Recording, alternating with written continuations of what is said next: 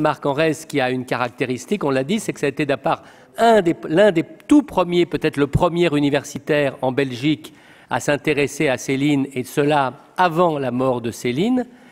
Et Marc, à cette occasion, avait eu l'occasion aussi de rencontrer Céline, d'être de ces nombreux écrivains qui avaient fait le pèlerinage à, Meudon et d'avoir même enregistré les entretiens qu'il avait fait, qu'il avait eu avec Céline.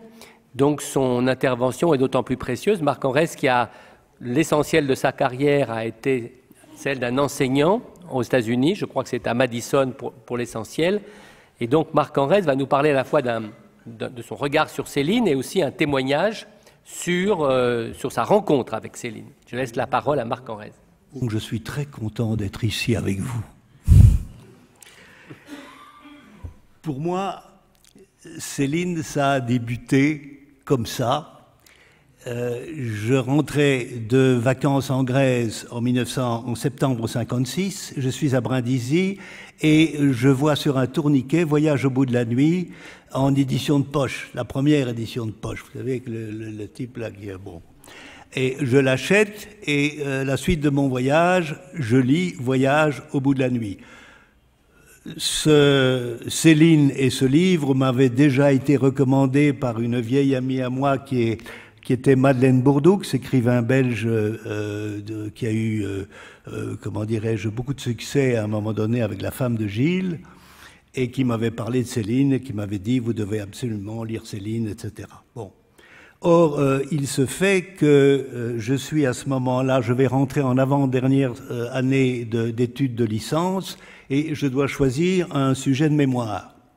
Alors, euh, j'avais pensé, j'avais hésité, j'avais pensé d'abord d'ailleurs à Drieux-La Rochelle, parce que je m'intéressais beaucoup à Drieux, j'aimais beaucoup l'œuvre de Drieux, je m'y intéresserai d'ailleurs plus tard avec Julien Hervier notamment, euh, puisque je dirige un cahier de l'herbe sur Drieux euh, dans les années 80. Bon.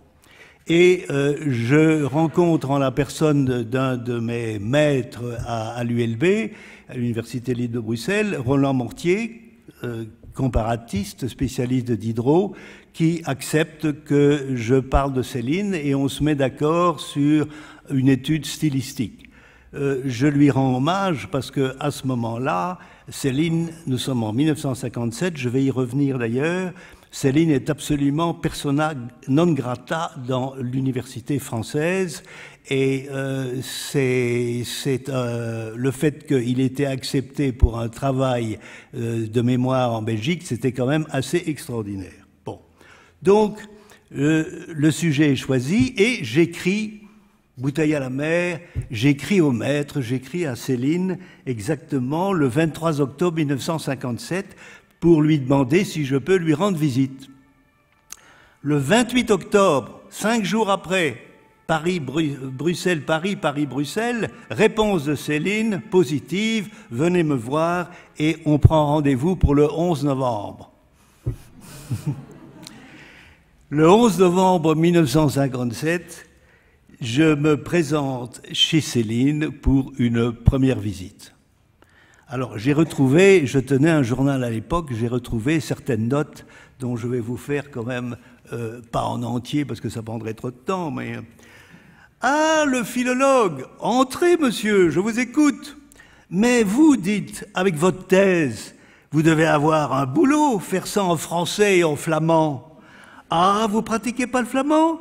Le connaissez quand même, un peu C'est séparé, rien à voir l'un avec l'autre. Alors, qu'est-ce qui est flamand?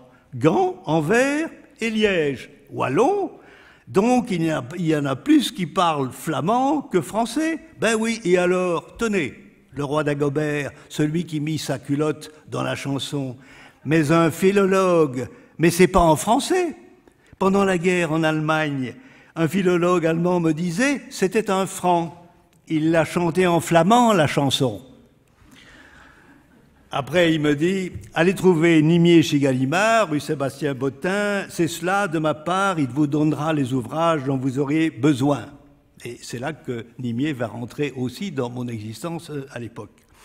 Alors, il veut, d'ailleurs, parlant de Nimier, il veut, il veut lui téléphoner, il saisit le, combiné de son téléphone, et je lui fais remarquer que nous sommes le 11 novembre. Il dit, euh, quelle date sommes-nous? Congé? Ah oui, c'est vrai, ils en profitent toujours pour ne rien foutre, cela. Hein bon. Bon, le lendemain, le 12 novembre, je suis donc chez euh, Nimier, j'arrive chez Nimier, euh, son bureau euh, chez Gallimard. il était prévenu, il m'attendait à 11 heures, et je lui parle notamment de différentes choses, notamment de Drieux auxquels je m'étais intéressé, auxquels j'avais pensé. Et euh, il, me, questionne aussi sur ma carrière, etc., etc. Me dit donc si vous avez euh, besoin de livres, je vais euh, vous les faire envoyer directement à Bruxelles. Et en sortant, il me dit vous ne trouvez pas qu'il fait froid dans mon bureau? Oui, on travaille mieux ainsi qu'avec le chauffage, me dit-il. Bon. Et en sortant, je monte de buter contre Jules Roy. Bon, le temps passe. Et en juillet 58, euh, je soutiens donc, euh, je présente mon mémoire de licence dont le titre est L'œuvre de Louis-Ferdinand Céline, essai d'études stylistiques. Et euh, il est très bien retenu par le petit jury. Je reçois 43 sur 50, ce qui est pas mal. Et en fait, j'aurais dû recevoir plus, mais un des professeurs euh, qui par ailleurs, un comparatiste, Vautier, qui par ailleurs m'avait donné 20 sur 20 à un examen, et avec qui, qui était absolument charmant avec moi, mais trouvait que Céline, c'était quand même un auteur grossier et que par conséquent, c'était quand même un peu gênant de donner une trop belle cote, n'est-ce pas, sur une étude de, Céline. C'est assez amusant parce que euh, y, a beaucoup de gens qui, au fond, à l'époque, étaient anti-céliniens, non pas à cause de son antisémitisme, mais parce que c'était un auteur grossier, un, anti-bourgeois et patati et patata. Bon, euh, ceci euh, pour la mémoire. Alors, euh, c'était évidemment le premier travail euh, universitaire connu à l'époque, mais en fait, euh, en Belgique, il y, a des, antécédents, et c'est grâce à Marc-Claude Loup que je les ai découverts d'ailleurs. Il y a un certain Willy Grémer qui a écrit les romans de Céline, mémoire de licence, à l'université de Liège, à Liège en 1939. Donc vous voyez, bien avant. Il y a aussi un Allemand, Gerhard L., qui a écrit euh, une thèse de doctorat à la Philips Universitat de Marbourg, qui s'appelle, je traduis en français, L'anomalie syntaxique chez Louis-Ferdinand Céline et sa signification comme moyen stylistique. Bien entendu, c'était en allemand. Moi, je n'en ai pas eu connaissance quand j'ai fait mon propre travail. Donc, rien en France avant, et ce qui est intéressant, c'est que les premiers travaux universitaires en France ont été non pas dans des facultés de lettres, mais par Marc Varango, Anarchisme de l'écrivain et politique Céline, Mémoire de littérature politique à l'Institut d'études politiques à Paris en 1958 donc la même année que moi, mais à l'Institut euh, d'études politiques. Et la première thèse de doctorat sera, celle-là elle est plus connue, par Jacqueline Morand, Les idées politiques de Louis-Ferdinand Céline, faculté de droit, non pas en lettres, faculté de droit, Paris 65, donc bien avant Philippe Almeras et les idées de Céline, n'est-ce pas, en 1987. Bon. En octobre 58, je revois Nimier, et euh, toujours pour euh, parler de ce mémoire, etc.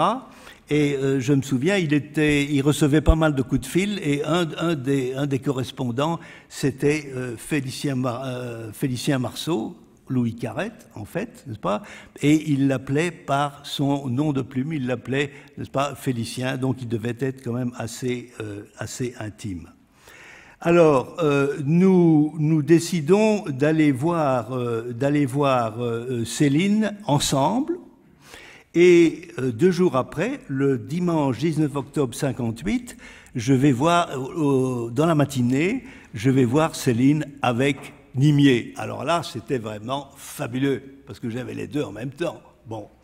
Et je retrouve Nimier chez Gallimard, euh, nous ne prenons pas son Aston, mais une 4 chevaux Renault noire de, des bureaux Gallimard, qui euh, tombe en panne à tous les feux rouges, que nous devons pousser pour arriver finalement à Meudon. On arrive à Meudon, et alors c'était évidemment très amusant parce qu'il y avait cette conversation euh, à trois, mais surtout à deux, et ils se renvoyaient la balle, et on sentait justement, comme l'a très bien euh, rappelé, n'est-ce pas, Marc, mon ami Marc Dambre, la complicité entre les deux, et Nimier faisant toutes sortes d'allusions à la carrière amoureuse, n'est-ce pas, de son ami Nimier, etc., etc. Et alors Nimier était comme ça, un peu comme un petit garçon, etc. Il n'osait pas trop. Enfin, c'était extrêmement plaisant. Bon. Alors, le temps passe de nouveau, je refais je, pars en Espagne où je vais passer cinq mois pour apprendre l'espagnol euh, à la faculté euh, des lettres de Madrid avant mon service militaire. Je profite de, j'avais un temps mort et, je suis allé donc en Espagne.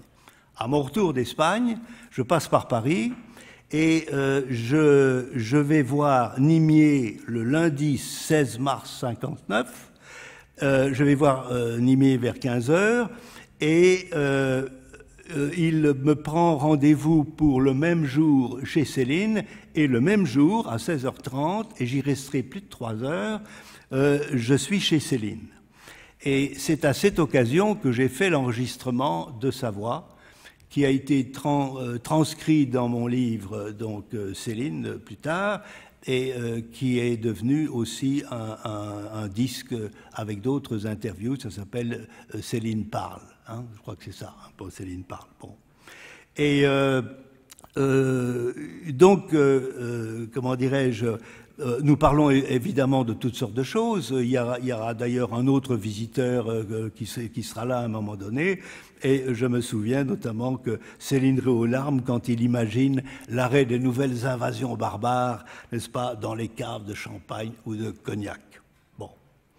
Alors, je fais mon service militaire, j'entre à l'armée euh, au, mois d'avril, au 1er avril de 1900, euh, 1959, euh, et je dois dire que le fait pour moi, un, d'être très jeune, deux, de ne pas être français, trois, de, devant être militaire, ça devait plaire à la fois à Nimier et à Céline. Hein, ce, côté un peu, peu comment dirais-je, étranger. Et euh, euh, je, c'est à ce moment-là que je vais recevoir, alors que je suis euh, en train de faire mon, service militaire, que je vais recevoir le contrat de Gallimard pour écrire le Céline dans la bibliothèque idéale, et je dois remettre le, manuscrit avant le 1er janvier 1961. Bon, ce qui sera fait d'ailleurs.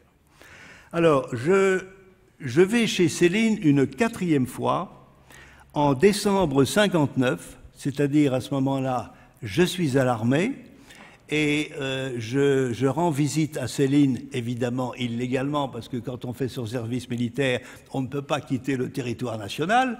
Bon, enfin, je, vais, je vais à Paris avec celle qu'il va appeler ma fiancée. En fait, c'était mon amie à l'époque. Et euh, en rentrant, nous rentrons chez Céline, et il y avait là, qui nous précède, un homme taciturne, et euh, une fois que je suis introduit chez Céline, il me dit, lequel disparaît, va chez Lucette ou quoi. Et Céline me dit, et apparemment c'était quelqu'un à, qui j'avais écrit pour avoir des renseignements sur Céline, et Céline me dit, je, je note moi-même, il a reçu votre lettre, certainement, mais il n'y a pas répondu. Il n'écrit jamais, il ne veut voir personne, c'est un con. Il a horreur d'être présenté, je n'insiste pas. Le con en question, c'était Marcel Aimé, bien entendu. Et Céline se met à siffler, c'est à cette occasion que Céline se met à siffler dans les steppes de l'Asie centrale à son perroquet. Et je lui ai appris ça pour qu'il ne se sente pas dépaysé quand, il arrivera là-bas. J'attends les premiers Chinois à Brest. Pourquoi Brest? Mais parce que c'est le, le, bout, c'est la fin de la France. Deux Chinois place de Brocaire, trois places de la Concorde, un à Brest, l'Europe. Petit cap du continent asiatique, disait Valérie, auteur indiscuté. Bon, le, temps passe encore et en octobre 60, je rends visite pour la première fois, et je, fais sa connaissance à ce moment-là, à Robert Poulet. Je, rends visite à Robert Poulet, euh, euh, comment dirais-je, visite extrêmement intéressante, parce que Robert Poulet est évidemment le journaliste écrivain euh, qui a eu tous les ennuis que vous savez, puisqu'il a été condamné euh, même à mort par contumace euh, en, Belgique. Et puis, il, il était en prison et finalement, il a pu passer en France parce qu'il y a eu une sorte d'échange d'informations. Robert Poulet est un homme qui avait un dossier énorme, notamment sur la famille royale, sur le roi, etc. Et euh, il y a eu un arrangement, il est, passé, euh, il est passé en France, et je ne sais pas quel a été son statut, si c'était prisonnier politique ou, euh, toujours est-il qu'il a, il a, il a, il a passé tout le reste de sa vie en France, il n'est jamais revenu en Belgique d'ailleurs. Mais, me disait-il, je mourrai belge parce que je ne veux pas qu'on puisse dire que j'ai tourné ma veste et patati et patata. Bon, donc, je suis chez Robert Poulet et Robert Poulet téléphone devant moi à Céline et euh, pour euh, m'organiser un rendez-vous. Et l'après-midi, euh, je vais chez Céline, cinquième et dernière fois. Et Céline me reçoit à ce moment-là dans sa cuisine cave. J'ai raconté ça un peu dans le désordre dans un petit, un, petit texte qui s'appelle Retour à Meudon, qui est repris dans l'anthologie de, dans la, collection bouquins qui a paru euh, l'année dernière. Alors, euh, donc je me retrouve euh, chez Céline et je me souviens qu'il y avait deux bergers qui étaient sur un sommier euh, donc euh, à l'entrée de cette cuisine cave, euh, qui ont grogné. Céline m'a dit faites pas attention, ce sont des aboyeurs, mais ils ne sont pas méchants. Effectivement, peu après, j'ai pu les caresser, etc. Bon. C'est lors de cette, de cette visite, donc de cette cinquième et dernière visite, que Céline me dit écoutez Radio Luxembourg et il y avait un avion avec des généraux soviétiques qui s'étaient écrasés en Sibérie et Céline me dit ils ont encore trouvé un moyen de les liquider. Bon.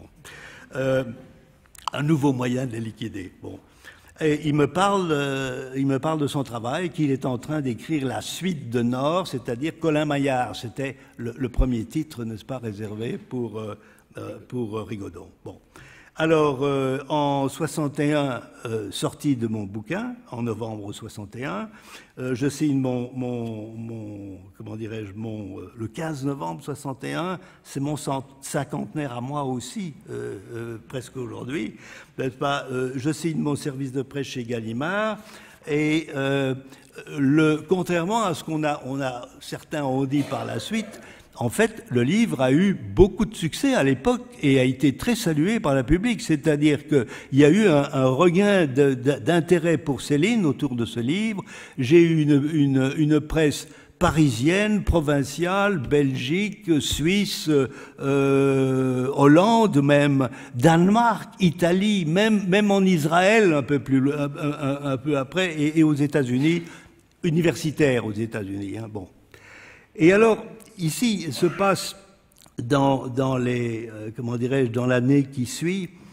Euh, est-ce qu'il faut parler de hasard objectif, comme disait Breton dans Nadja, ou de pas hasard du tout, euh, me dira plus tard Abellio, le 15 septembre 1962, j'essaye une Aston Martin à Bruxelles sur la route de Mons parce que le concessionnaire Aston Martin vendait aussi les Lancia. Mon père avait une Lancia. Le, le concessionnaire était le gendre d'un euh, très bon ami de mon père. J'avais donc l'occasion d'essayer une Aston que le, que le, vendeur anglais venait montrer à Bruxelles. Donc c'était une, une, Aston anglaise avec le volant à droite et le levier de changement de vitesse à gauche. Hein bon, je pars là-dedans, moi au volant, l'anglais à côté, blanc comme ma feuille, euh, et on fonce. Et je pousse la voiture jusqu'à 225 km à l'heure sur la route de Monde. À l'époque, ce n'était pas des autoroutes. Hein. Bon, ok. Le 15 septembre, le 28 septembre 1952, j'apprends Nimier est mort en Aston Martin. C'est quand même, pour moi, c'est quand même quelque chose d'assez curieux. Bon. Alors le temps passe et euh, j'entame ici ma carrière aux États-Unis. Et en fait, je ne vais pas euh, vous la raconter en détail, c'est pas ça, mais je tiens à insister d'abord sur le fait que euh, aux États-Unis, je n'ai pas du tout je n'ai pas du tout connu les embûches, par exemple, qu'a connu un, un, Almeras. Hein. Euh, ça, ça, ça s'est relativement bien passé. J'ai d'abord été à l'université de Massachusetts à Amherst et puis à Wisconsin. À Amherst, un jour, il y a une, une conférence de Claude Simon. Et Claude Simon, au buffet après la conférence, je lui dis que je suis euh, donc spécialiste de Céline. Claude Simon me regarde, C'est moi l'empressé, le galant Ferdinand, le tourbillon des dames. Il me récite une épigraphe de Bagatelle pour un massacre. Claude Simon, il connaissait ça par cœur. Bon. Euh, en, euh, à, à, Madison, à l'université du Wisconsin, un jour, euh, comment dirais-je, Robert Grillet, Rob, Rob, Grillet. Rob Grillet va faire une conférence sur la peinture et je l'entends encore dire à une salle d'étudiantes presque plus pleine que ceci encore, le plus grand écrivain français du XXe siècle, c'est Louis-Ferdinand Céline. Rob Grillet, Dixit. Bon.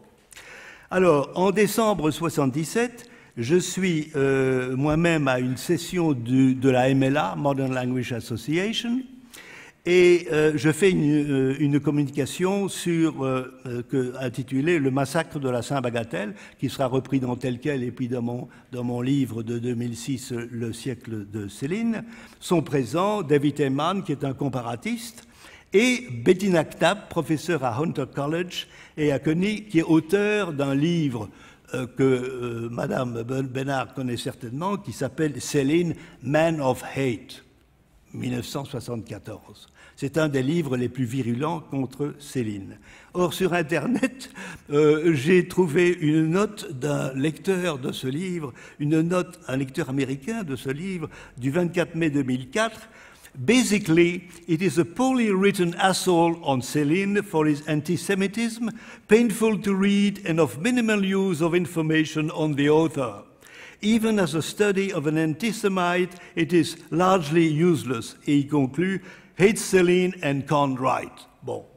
Alors, euh, après, après mon, mon, mon, laus, euh, Knapp fait remarquer que même au point de vue littéraire, Bagatelle n'a absolument aucune valeur. J'avais justement mon exemplaire avec moi, je remonte à la tribune et je lis une page sur Leningrad qui commence, vous connaissez peut-être, il faut d'abord situer les choses, que je vous raconte un petit peu comment c'est superbe Leningrad, et qui se termine par la page que je lis, cocarde, tout en pierre de prison, figée, transpercée par le terrible poignard d'or, tout aigu, l'église, la flèche d'une paroisse d'assassinés. Bon, l'art de la chute chez Céline, bien entendu, est merveilleux. Et euh, inutile de dire que ça leur cloue le bec, n'est-ce pas, y compris à, Bettina, qui ne m'en euh, tirera d'ailleurs pas rigueur parce qu'elle me demandera une préface pour son French Novelist Speak, Out deux ans après. Et en effet, Bagatelle, c'est là-dessus que je termine, euh, Bagatelle est un livre extrêmement important pour la bonne raison que cette, euh, cette visite de Céline à Leningrad, il n'en parle nulle part ailleurs, euh, qu'elle est décrite en long et en large. C'est l'occasion de la rencontre avec Borodine, n'est-ce pas, qu'il a connu euh, en, Angleterre. Et il y a le théâtre, le théâtre Marinsky, l'hôpital vénérien, la vieille dame pianiste, le, portrait de la Nathalie de, sa guide, etc.